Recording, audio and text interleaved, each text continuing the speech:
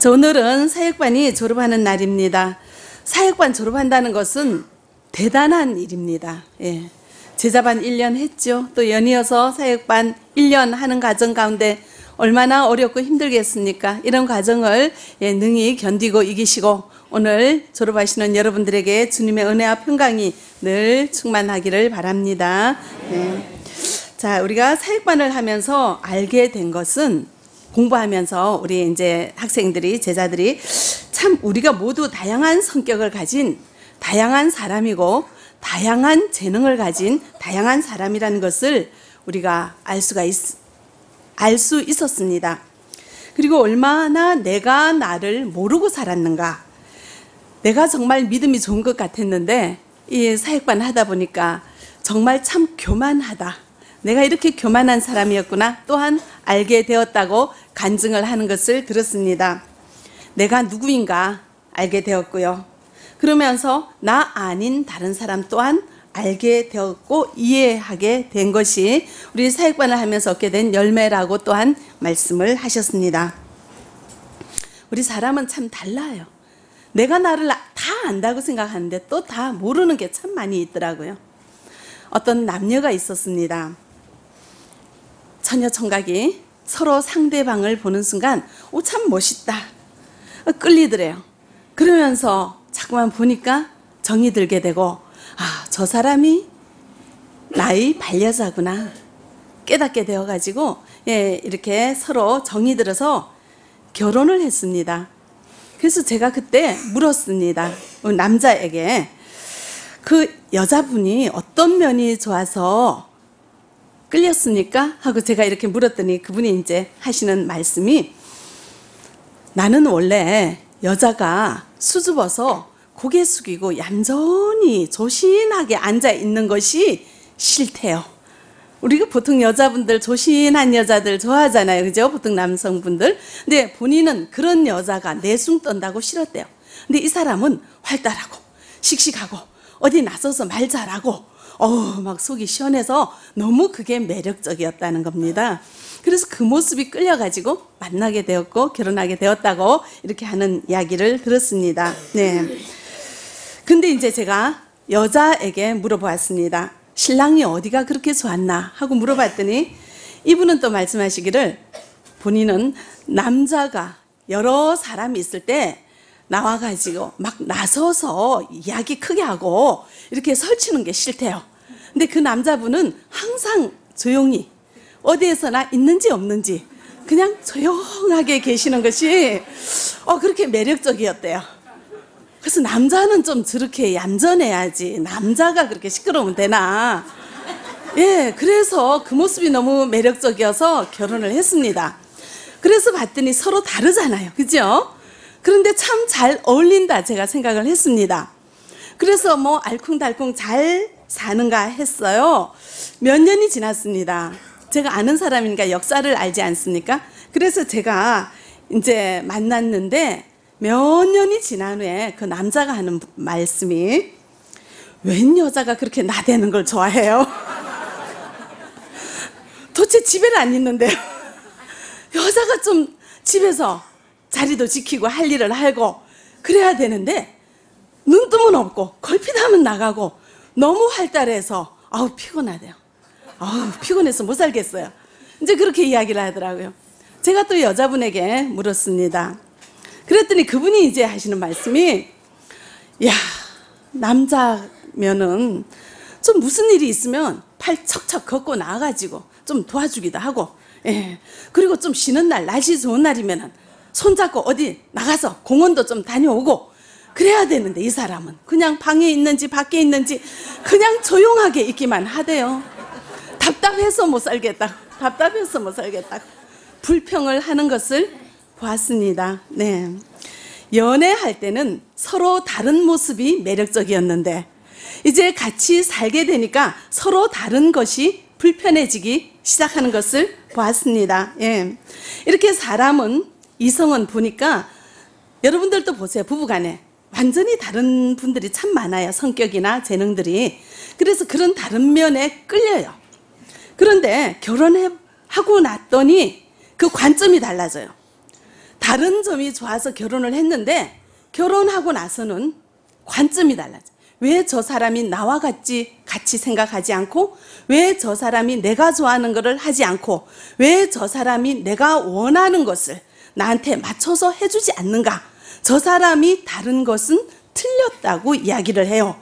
조용하고 얌전하고 어디 있는지 존재감이 없는 그 남자분이 그렇게 매력적이라고 얘기해놓고는 나중에는 조용하다고 가만히 있는다고 어디 안 나대는다고 왜 나같이 씩씩하게 밖에 다닐 때 같이 다니고 무슨 일이든지 썩썩 나서서 하지 않는가 왜 나랑 같지 않는가 요구하고 나와 같지 않는 것으로 인하여 어떻게 하죠?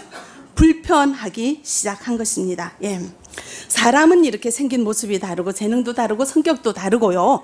근데 더, 더 특히 살다 보면 관점이 달라지기도 해요. 그런데 신기한 것은 이전에 내가 생각했던 관점 내가 맞다고 그래요. 또 세월이 지나면서 관점이 달라졌잖아요. 근데 그게 또 내가 맞다고 그래요. 무조건 내가 다 맞다고 하는 우리 이런 속성을 우리는 또한 돌아보게 되었습니다. 이렇게 참 다른 게 많아요. 그래서 오늘 성경에도 서로 다른 말이 앞뒤로 나란히 기록이 되어 있습니다. 우리 같이 보겠습니다. 잠언 26장 4절 5절 우리 같이 읽어보겠습니다. 미련한 자의 어리석은 것을 따라 대답하지 말라. 두렵건대 너도 그와 같을까 하노라. 미련한 자에게는 그의 어리석음을 따라 대답하라. 두렵건대 그가 스스로 지혜롭게 여길까 하노라. 아멘. 자, 4절 5절에서 같은 말인데 다르게 이야기를 하는 게 있어요. 보입니까? 뭐가 보여요? 자, 4절에는 미련한 자에게는 어리석은 것을 따라 뭐 하지 말라? 대답하지 말라고 얘기하죠. 근데 5절에 보겠습니다. 미련한 자에게는 그의 어리석음을 따라 대답하라. 어느 게 맞아요? 4절에는 자, 미련한 사람이 하는 것을 그대로 따라서 대답하지 말라고 얘기하고 5절에는 그의 미련함을 따라서 어떻게 요 대답하라고 합니다. 어떻게 해야 돼요? 왜 이렇게 달라요? 어디에 맞춰야 됩니까? 4절이 맞아요? 5절이 맞아요? 대답하지 마는 게 맞습니까? 대답하는 게 맞습니까? 4절이 맞으면 5절이 틀린 거고 5절이 맞다고 하면 4절이 틀리는데 4절이 틀렸다 5절이 틀렸다면 성경이 틀렸다고 얘기하면 이거는 신앙인이 아니죠. 우리가 신앙한다는 건 성경에 있는 말이 틀림이 없고 다 맞다고 이야기하는데 우리가 성경의 정확 모성을 우리가 믿고 신앙하는 것이 신앙인의 자세인데 이 성경 잠언 24 6장 4절 5절에는 같은 상황에서 같은 말이 앞에 하고 뒤에 하고 달라요. 뭐 어느 것이 틀렸고 어느 것이 맞습니까? 다 맞아요. 다 맞아요. 그죠? 그러니까 상황에 따라서 다르게 대답할, 행동할 수 있다는 것을 이야기하는 구절이죠. 예. 우리는 신학, 오늘 사역반 졸업하시는데, 우리 교회에서는 사역반 졸업은 최고의 이제 졸업식이잖아요. 신앙의 연수가 오래되거나, 이렇게 뭔가 공부를 많이 하고 과정을 많이 거친 분들은 나도 모르게 어떤 게 내 마음에 생길 수 있냐면은 내가 생각하는 것이 다 맞다. 내가 생각하는 대로 해야 한다. 왜 여러분들은 나의 관점으로 하지 않습니까? 왜 이 교회는 나의 관점으로 저기 교회가 운영되지 않습니까? 보고 판단하고 비방하고 비난할 가능성도 또한 있는 것입니다. 그런데 이 오늘 성경에는 뭐래요? 대답하지 말라. 대답하라. 이 말씀은 상황에 따라서 다르게 해도 된다는 것을 우리에게 이야기하고 있습니다. 자, 지혜로운 자가 미련한 자의 말에 맞장구를 치지 말아야 된다는 거예요. 어떤 때냐면 욕하고 비방하고 비난할 때 그것을 같이 맞장구 쳤다는 같은 자가 되어버리죠. 그럴 때는 어떻게 해요? 같이 대답하지 말라. 그런데 이제 그 다음에 5절에는 왜 대답을 하라 하는가 하면은 이제 이 지혜로운 자가 가만히 있으면 그 지혜로운 자가 뭘 몰라서 가만히 있는 줄 알고 미련한 자가 어깨가 으쓱으쓱해질 수가 있다는 거죠. 그것을 방지하기 위해서 지혜로운 자가 제대로 가르쳐 줘야 된다는 거죠. 지혜로운 것이 무엇인가? 그래서 대답을 해서 그 미련한 자가 좀, 아, 내가 이렇게 부족했구나 하고 깨닫게 하기 위해서는 대답을 해야 된다고 합니다. 근데 이 상황 파악은 누가 해야 돼요? 우리 각자가 다 해야 되죠. 이것이 우리 신앙인의 몫이라는 거예요. 예. 그러니까 각자의 경험과 생각과 지식과 신앙의 성숙도에 따라서 어떤 사람은 대답을 안 할 수도 있고 어떤 사람은 대답을 할 수도 있는 겁니다. 그러므로 모두 다 맞다는 것을 성경은 이야기하고 있습니다. 예. 그래서 우리가 살아가는데 복음의 본질은 천편일률적입니다. 그것은 글자 하나라도 틀려서는 안 됩니다. 네. 우리 예수 그리스도께서 나의 죄를 위하여 십자가에 죽으시고 부활하셨다는 이 말을 글자를 아 부활은 마, 마음에 안 드니까 빼 이렇게 할 수 없다는 거죠. 복음의 본질은 글자 하나라도 틀리지 않고 다 우리가 그대로 듣고 믿고 지켜야 되지만 이런 일상생활에 우리의 말씀을 적용하는 문제에 대해서는 약간 다를 수가 있고 다양성이 있다는 것을 오늘 성경은 이야기하고 있습니다. 네. 우리가 일터에서 일하다 보면은 억울한 소리를 들을 때가 있습니다. 그럴 때는 어떻게 해야 될까요? 어떤 것이 성경적일 것 같아요? 참아야 되죠. 참는 자가 교만한 자보다 낫다고 전도서에 말씀하고 있습니다. 이게 누구나 다 참아야 된다고 알고 있습니다. 그런데 모두가 다 이것을 참아낼 수는 없어요. 그 사람의 성격과 인격의 성숙도와 또한 뭐 여러 가지 상황에 따라서 무조건 참지 말아야 될 때도 있고요. 어떤 사람은 성격이 느긋해서 무슨 소리를 들어도 화가 안 나는 사람 저절로 참아지는데 성격이 팔팔한 사람 요만한 소리만 들어도 어때요? 화가 이렇게 부룩부룩 올라오죠. 근데 그걸 참아요. 그런데 어떻게 되죠? 하루가 지나고 이틀이 지나면 막 속이 부글부글하고 머리가 아프고 뒷골이 땡기고 혈압이 올라가고 막 병이 나버려요. 참으면. 그런 사람이 계속 성경 말씀대로 한다고 참으려고 애를 쓰면은 병이 나잖아요. 그럼 하나님이 잘했다고 하겠어요? 어쩌겠어요? 미련하다 그러겠죠. 하나님이 주신 내 육체를 건강하게 유지하는 것도 성경적인 거죠. 그러면은 이때는 어떻게 해야 될까요? 우리 성경에 보면은 마태복음에 뱀같이 지혜롭게 하라고 합니다. 네. 우리가 우리에게 언어를 준 것은 뭐 하라고 언어를 줬어요? 대화하라고. 내가 억울한 상황이 있고 그것을 말하지 않으면 속이 부글부글 끓어서 도저히 참을 수가 없고 혈압이 올라가고 심장이 터져서 죽을 것 같으면 어때요? 이거를 표현을 해야 되겠죠. 너무 억울해서 못 살 것 같으면 표현을 할 때 딱 뒷짐지고 가서 그냥 이렇게 삿대질 하면서 표현하는 것이 아니라 지혜롭게.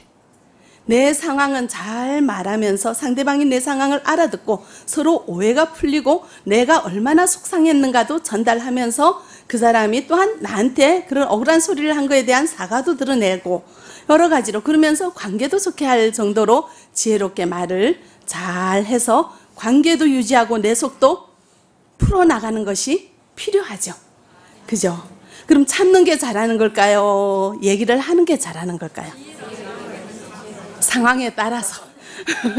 그죠? 그 사람의 인격의 성숙도와 신앙의 성숙도에 따라서 그거 참아도 아주 성숙된 사람은 그 참아도 아무렇지도 않아요. 정말 신앙에 성숙하신 분들은 그러면 어때요? 저절로 참아지잖아요. 그러면 넘어가는 거죠. 그러면 참는 게 맞는 거죠. 이렇게 가장 정답은 참는 거지만 이게 안 될 때는 그것을 하기 위하여 자기 개인의 성격에 맞게 신앙의 성숙도에 맞게 하나하나 적절한 방법을 찾아가면서 이렇게 해결해 나가는 것도 지혜로운 방법이라는 것을 우리는 알 수가 있습니다. 예. 그러므로 우리는 신앙을 오래 하신 분은 내가 할 수 있는 수준의 초신자가 안 한다고 비난해서는 안 되는 거죠. 그렇게 하지 말라는 거지. 그죠? 그러므로 신앙의 연수에 따라 인격의 성숙도에 따라서 각자 상황에 맞게 차하며 처신하는 행동이 다를 수 있다고 우리 오늘 성경은 이야기하고 있습니다. 네. 제사 음식을 먹어야 될까요? 먹지 말아야 될까요? 구약에는 먹지 말라고 그러고 먹어도 된다고 합니다. 근데 이제 우리는 어떤 사람이 제사 음식을 먹으면 막 비난해. 저기 우상한테 절했던 음식을 먹는다고 비난을 하는데 비난하지 말라는 거죠. 제사 음식을 먹어도 된다고 고린도전서 이야기하는데 왜 먹지 말라고 하느냐면은 내가 제사 음식을 먹은, 먹는 걸 보고 초신자들이 시험에 들면 한 영혼을 시험에 드는 게 나쁘잖아요. 제사 음식을 먹는 게 나쁜 게 아니라 잘 몰라서 어머 저 왜 저래? 하고 시험에 드는 그 상황을 만드는 게 나쁘다고. 그럴 때는 먹지 말아야 된다. 그렇지만 하나님이 만든 모든 것이 다 선함에 그것도 음식인데 먹어라. 이렇게 얘기하는 거죠 그러므로 우리의 고정관념을 버리시기 바랍니다. 우리가 이곳에서 예배를 드리고 지금 이러는데 사실 우리가 예배 드린 이 분당이 우리 처음에 개척했을 때는 여기가 숙소였어요. 방이 따뜻하잖아요. 그래서 평소에는 여기서 잠을 자고 밥을 먹고 그 주일이면 싹 걷어가지고 예배를 드려요. 여기서 숙소를 이용하던 분들이 평소에는 숙소로 사용하고 잠을 자고 뭐 주일날 예배 드린 거 아무 얘기도 안 하시더니 어느 날 분여질 날 우리가 모였어요. 딴 공간이 없으니까 이곳에서 대중가요도 부르고 좀 이렇게 흥겹게 흥치 있게 지냈더니 어떤 분이 이 거룩한 예배당에서 왜 노래를 부릅니까? 이렇게 이제 말씀을 하시는 거예요. 그분은 왜 이 거룩한 예배당에서 왜 입을 피고 잠을 잡니까는 하지 않으시더라고요. 이 거룩한 예배당에서 자서는 안 되지 않습니까? 그런 관점으로 보면은 그죠? 근데 내가 자는 건 괜찮고 딴 사람 노래 부르는 건 안 되는 거예요.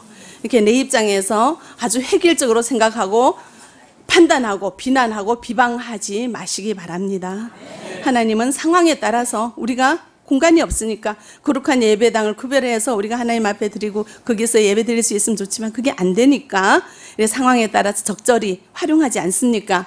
그렇지만 이 활용한 이 공간을 통해서 만 칠천 명의 우리 등록교인이 여기 등록을 되었고 하나님을 알고 떠나가게 되었으니까 잠을 자든 노래를 하든 예배를 드리든 이 아름다운 공간에서 그와 같은 일이 일어났다는 그것으로 우리 하나님 굉장히 기뻐하시겠죠. 예. 그러므로 우리는 이렇게 사람도 다양하고 상황도 다양한 이런 우리의 현실을 직시하고 바라볼 수 있는 그리고 깨달을 수 있는 지혜가 있기를 바랍니다. 네. 자, 그래서 오늘 사역반 졸업하시는데 각자 다른 상대방을 존중하고 섬기고 사랑하며 살아가는 것이 나의 일터에서 나의 가정에서 그것이 오늘 우리에게 주신 사명이라는 것을 기억하시기 바랍니다. 그러므로 상대방이 나와 어떻게 다른가를 살펴봐야죠. 그러므로 이 다른 면을 어떻게 맞춰가야 되는지 깨달으셔야죠. 그리고 적용하셔야죠. 그리고 섬기셔야죠. 예, 이것이 우리 성숙한 믿음의 자세인 것을 여러분들 기억할 수 있기를 바랍니다. 믿음은 저기 하늘 나라에서 구름 위에서 그냥 아무거나 막 이상한 그 잡는 소리를 하는 것이 아니라 발을 땅에 딛고 살아가는 나의 생활 현장에서 이 말씀을 적절하게 적용하고 지혜롭게 살아가는 것이 성숙한 신앙인이라는 것을 여러분들 기억할 수 있기를 바랍니다. 음. 지난번에 우리가 느헤미야에 대해서 말씀을 들었습니다. 느헤미야가 이제 바사 제국의 술 가문이었는데 이스라엘 백성으로 아주 오래전에 포로로 잡혀갔던 후손이잖아요. 그죠? 그런데 고국의 그 정말 딱한 소식을 듣고 느헤미야가 예루살렘으로 돌아가려고 했을 때 그리고 느헤미야는 무엇이든지 준비하고 계획하고 그렇게 해서 행동하는 사람이었기에 왕에게 이제 기도하면서 허락을 구했죠. 근데 느헤미야는 왕에게 허락을 구할 때 이제 내가 예루살렘으로 돌아가는 길에 이런저런 저런저런 일이 있을 거니까 이것도 좀 도와주시고요. 저것도 좀 도와주시고요. 제가 예루살렘에 가서 성문을 재건할 건데요. 성문을 재건하려면 나무가 필요하지 않습니까? 삼림 감독한테 얘기해서 그 나무도 좀 주라고 하시고요. 이렇게 필요한 것을 왕한테 다 구했어요. 근데 이제 왕이 다 허락하면서 또 뭐까지 주었는가 하면 느헤미야 2장 9절을 우리 보도록 하겠습니다. 같이 읽어보죠. 군대 장관과 마병을 보내워 나와 함께 하게 하시기로 아주 먼 길을 가는 거죠. 그러니까 많은 사람들을 이끌고 재물을 가지고 가니까 그것을 뺏으려는 사람들 그리고 처들은 외적이 있겠죠. 그러니까는 이 무리들을 이 백성들을 보호하기 위해서 뭐가 필요합니까? 군대가 필요하죠. 예, 무기를 들고 지키는 사람들이 필요하잖아요. 근데 왕이 이 군대 장관과 마병을 보내서 이 느헤미야 일행을 보호해서 예루살렘까지 가도록 호위해 주었습니다. 이렇게 해서 느헤미야는 군대의 보호를 받고 예루살렘까지 가게 되었습니다. 근데 이제 느헤미야 앞서 느헤미야는 3차 포로 기한이었고요. 느헤미야에 앞서 2차 포로 귀환을 주도했던 사람이 에스라라는 사람이 있습니다. 이 에스라는 율법학자요 제사장인데요. 그런데 이 에스라도 그 이전의 일입니다. 이 에스라도 이스라엘의 그런 어려운 일을 듣고 정말 이제 기도하면서 왕의 허락을 구해서 왕이 도와주고 해서 이제 이 에스라도 이스라엘 백성과 함께 예루살렘에 돌아오게 되었습니다. 근데 이 사람은 율법학자요 제사장이기 때문에 자 율법 학자요 제사장은 아무것도 안 하고 성경 가리키고 제사 드리고 하는 분이잖아요, 그죠? 제사를 주도하는 이제 느헤미야와 에스라는 다르죠. 느헤미야는 술 가는이었어요. 왕의 술잔에 독이 있는지 보면서 옆에서 가장 가까이 경호하는 왕의 측근이었어요. 굉장히 실권자죠. 관리 높은 관직에 있는 사람이고 에스라는 이런 율, 율법 학자였어요. 성경을 가리키는 이런 사역하는 분이라고요. 그래서 이제 이 에스라도 왕의 허락을 받아서 왕이 이렇게 얘기했어요. 너가 당신이 예루살렘에 돌아가서 이 성전에 뭔가 드리고 싶은데 거기 필요한 모든 재물을 다 구해라. 당신이 구하는 거는 내가 다 주겠다. 이렇게 왕이 얘기를 했습니다. 그럼 필요한 거 다 구하면 되잖아요. 근데 에스라가 왕에게 구하기를 부끄러워한 게 있습니다. 아우, 이거는 못 구하겠어. 나 이렇게 이 말은 못 해. 나는 부끄러워. 자, 어떤 거를 부끄러워했을까요? 에스라 8장 22절을 우리 같이 읽어보겠습니다. 이는 우리가 전에 왕에게 아뢰기를 우리 하나님의 손은 자기를 찾는 모든 자에게 선을 베푸시고 자기를 배반하는 모든 자에게는 권능과 진노를 내리신다 하였으므로 길에서 접근을 막고 우리를 도울 보병과 마병을 왕에게 구하기를 부끄러워하였습니다. 맨 끝에 보세요. 맨 앞에는 이제 앞 구절에는 에스라가 하나님이 어떤 분인가에 대해서 왕에게 이렇게 얘기 설명을 했다는 거예요. 어떻게 설명을 했는가 하면 하나님은 선을 베푸시는 분이고 자기를 찾는 자에게 모든 것을 좋은 걸 주시는 분이시고 하나님은 권능의 하나님이시오 진노를 내리시는 하나님이시오 하나님은 보호하시고 지켜주시는 하나님이시라고 하나님에 대해서 이제 왕에게 이렇게 막 소개를 했고 그랬기 때문에 뭘 구하지 못했다고요? 적군을 막고 우리를 도울 보병과 마병을 왕에게 구하기를 부끄러워하였다고 해요. 느헤미야는 어떻게 왕이 주시는 군대 마병과 보병을 함께 호의를 받고 예루살렘에 돌아갔죠. 근데 에스라는 어, 그 먼 길을 가면은 적의 침략이 있을 수 있고 강도가 나타나서 우리를 침략할 수도 있고 물건을 뺏어갈 수도 있는데 이걸 보호하기 위하여 군대를 좀 보내주세요. 이 얘기를 하기 했어요, 못했어요? 왜요? 부끄러워서. 왜 부끄러웠죠? 하나님이 지켜주신데 웬 군대가 필요하냐는 거죠. 군대를 보내달라는 얘기를 에스라는 부끄러워서 못했어요. 누가 더 믿음이 좋습니까? 에스라 에스라가 좋습니까? 느헤미야는 믿음이 없는 거죠. 그렇죠? 근데 성경에는 에스라가 더 믿음 좋다는 구절이 없습니다. 믿음이 좋다는 것은요, 얼마나 하나님 앞에 자기를 드리느냐, 하나님을 얼마나 절대적으로 믿고 내 인생을 드리느냐. 느헤미야가 어떤 사람입니까? 수, 바사지구 최고 높은 실권을 가진 자가 그 자리를 버리고 조국을 일을 하기 위하여 그 어려운 길을 떠나지 않습니다. 인생을 드리는 자잖아요. 믿음이 부족하죠. 예, 군대에 같이 갔다고 믿음이 부족하죠. 에스라도 모든 걸 버리고 자기 고국의 어려움을 해결하기 위하여 신앙의 회복과 부흥을 위하여 돌아갔습니다. 근데 하나님이 지켜준다 하기 때문에 군대 달라 소리를 못했어요. 믿음이 더 좋죠? 아니죠. 달라요. 군대 호위하래 가도 되고요. 군대 호위 없이 그냥 하나님이 지켜주신다는 믿음을 가지고 가도 되고요. 상황에 따라서 그 사람의 인격과 그 사람의 신앙과 그 사람의 학식과 그 사람의 경험과 그 사람이 가진 모든 것을 활용해서 그 사람답게 하면 됩니다. 그죠? 그런데 우리는 판단하려고 그래요. 내 입장에서. 판단할 필요가 없잖아요. 누가 일렬로 세워서 느헤미야와 에스라를 일렬로 세워서 누가 더 믿음이 좋은가 왜 판단을 해야 합니까? 상황이 다른데, 사람이 다른데, 시대가 다른데 판단하고 결정할 권리가 누구에게 있습니까? 우리에게 있습니까? 없어요. 다 믿음이 좋습니다. 우리는 우리가 보는 눈으로 항상 상대방이 믿음이 좋다, 믿음이 어떻다, 이렇게 해야 된다, 저렇게 해야 된다, 이 교회는 왜 이렇게 하는가, 저 교회는 왜 저렇게 하는가, 저 목사님은 왜 저렇게 하는가, 저 집사님은 왜 저렇게 하는가, 너무나 많은 것을 판단하고 내 생각대로 결정하려고 합니다. 그렇게 하지 마시라는 이야기입니다. 예. 그것은 교만한 거죠. 교만은 가장 큰 죄입니다. 우리가 신앙생활을 오래 하는 것 좋습니다. 많이 배우는 것 좋습니다. 근데 많이 배워서 우리가 가질 수 있는 가장 큰 문제가 교만해지는 겁니다. 내가 배운 경험과 내가 알고 있는 지식과 내가 있는 관점에서 모든 것을 판단하고 결정하고 비방하고 비난하려고 우리는 준비를 하고 있습니다. 그런 모든 자세를 버릴 수 있기를 바랍니다. 어떤 사람은 아프면 기도해야 한다고 하고 어떤 사람은 아프면 병원에 가야 된다고 합니다. 어찌해야 될까요? 누가 믿음이 좋습니까? 어떤 교회는요 사모님이 아팠는데 병원을 못 갔어요. 왜냐하면 사모가 믿음 없이 병원 간다 할까봐.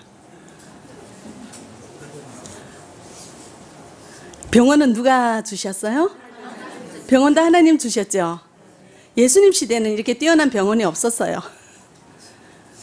기적으로 낫는 일이 많아지요 지금은 어때? 하나님께서 너무나 많은 첨단의 기술과 의술과 의료진을 주시고 병원을 주셔가지고 병원 가면 낫는 일이 너무 많아요. 자, 그럼 아프면 어떻게 해야 될까요?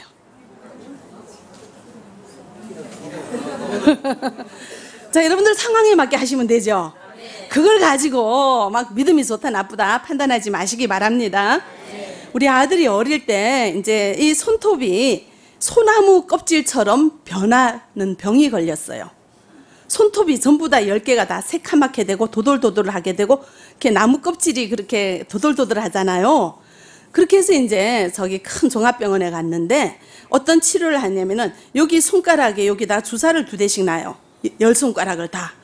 그렇게 6개월을 다녔어요. 그러면 그 주사를 맞으면은 이 손톱이 맨들이하게 된다고 그래서 6개월 넘게 다녔는데 변화가 없어요. 그랬더니 의사 선생님이 그만 오라고 해. 이렇게 해서 안 낫는다고. 병원을 가도 안 되니까 어떻게 해요? 기도했습니다. 기도 열심히 열심히 했습니다. 그랬더니 어느 날 깨끗이 나아졌어요. 할렐루야. 그런 일이 있어요. 근데 이제 또 저에게 몸 안에 큰 이제 조그만 종양이 생겼습니다. 그래서 저는 이제 기도해서 낫게 된 그런 경험이 있으니까 그때 이제 교회에서 막 아주 열심히 봉사하는 집사였습니다. 그래서 나도 이제 내 믿음이 좋잖아요. 그죠? 막 기도하니까 병도 낫고. 그래서 이제 나, 아, 이것도 기도하고 낫게 해야지. 그러면서 계속 기도했습니다. 그래서 이제 병원도 안 가고요. 1년이 지나고 2년이 지났는데 이제 그냥 내가 이제 병원 가면 이 그냥 혹이 그냥 혹 떨어져 가지고 야, 역시 서집사는 그냥 기도하면 뭐든지 다 돼. 능력 있어. 막 이런 소리를 듣고 싶었어요. 근데 병원 갔더니 1cm도 안 되는 게 7cm나 돼. 자랐어요. 그 어째요? 수술했습니다. 기도하고 병을 낫는 게 믿음이 좋습니까? 병원 가서 수술해서 낫는 게 믿음이 좋습니까? 상황 따라 하시면 되죠. 예, 그런 별거 아닌 일을 가지고 우리는 편견을 가지고 선입견을 가지고 세상 만물을 바라보며 예, 비방하고 결정하려는 우리의 모든 태도를 버릴 수 있기를 바랍니다. 내 입장에서 상대방을 바라보고 내 입장에서 내가 하는 것이 다 옳다고 여기는 것은 주님 앞에 죄입니다. 예. 다른 사람을 나와 다른 사람을 인정하시고 예, 배려하시고 섬기시기 바랍니다. 그리고 또 우리 하나님께서는 우리에게 지혜를 주셨어요. 그래서 다른 사람을 잘 관찰하시기 바랍니다. 나와 다른 면이 뭐가 있는가 잘 관찰하시고 잘 살피시는 지혜가 있기를 바랍니다. 또한 나와 다른 점이 있는 것을 깨닫는 지혜가 있기를 바랍니다. 그리고 깨달았으면 그것을 적용하는 지혜가 있기를 바랍니다. 아, 사람은 저렇게 다르니까 내가 어떻게 맞춰줘야 될까? 그럼 나와 맞지 않는 이것은 내가 너무 싫으니까 나는 이것을 이렇게 이렇게 원한다는 얘기를 어떻게 말을 할까? 이렇게 서로 다른 면을 인정하고 예, 그것을 서로 적용하며 서로 사랑하며 서로 섬기며 배려하며 살아가는 것이 예, 성숙한 성도의 자세라는 것을 여러분들 기억할 수 있기를 바랍니다. 그래서 믿음이 좋다는 것, 성숙하다는 것은 예, 큰 소리로 기도할 때 물론 좋지만 이렇게 주변을 주님의 시선과 주님의 안목으로 잘 살필 수 있는 지혜가 있는 분이 성숙하다고 또한 이야기할 수가 있습니다. 그러므로 우리 한중사랑교회 모든 성도들은 성숙한 믿음으로 성숙한 자세로 살아가는 우리가 되어지기를 바라고요. 특별히 졸업하시는 우리 사역반, 사역반 졸업했다고 예, 그냥 이제부터 시작이에요. 예, 그러므로 지혜를 가지고 나를 보고 상대방을 바라보고 나 가정을 바라보고 나의 공동체를 바라보며 깨닫고 살피고 배려하고 사랑으로 섬기는 은혜가 있어지기를 바랍니다.